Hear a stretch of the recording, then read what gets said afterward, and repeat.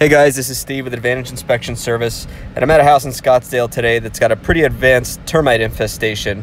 Um, I've opened up one of the tubes here just to show you guys what these things actually look like, because it's pretty rare that we actually get to see the actual termites. It's usually just the evidence that they leave behind that we get to see.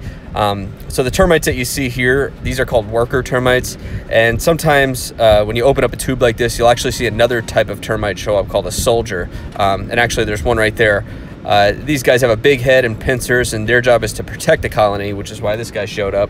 Um, looks to me like this infestation's been left undisturbed uh, probably for years, just judging by the size and the amount of tubes uh, that we have around the property, and also the amount of termite damage that I've seen from door jambs all the way up to the eaves on this house. But there is a reason we treat for termites, and that's because they can cause significant structural damage, uh, and this house is a good example of that.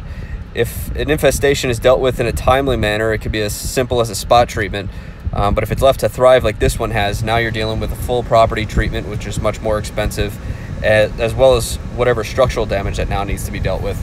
So be on the lookout for these mud tubes and take action as soon as possible. Thanks for watching.